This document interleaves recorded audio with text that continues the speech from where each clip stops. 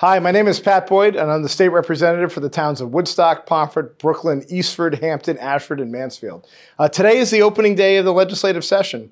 Uh, for the next couple months, we're going to be working on budget revisions uh, and other bills in our committees. Uh, I'm again chairing the Public Safety and Security Committee, uh, so we're working on some law enforcement initiatives, try to advance the fire service uh, and other things that affect uh, homeland security here in the state of Connecticut. Uh, the governor spoke today, gave a State of the State address.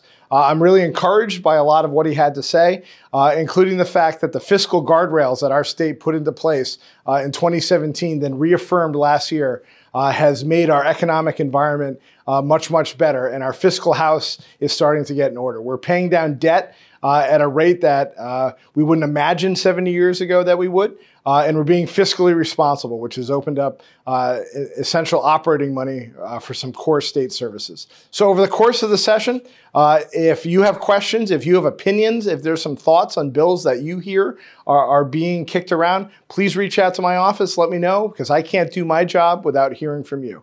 Thank you.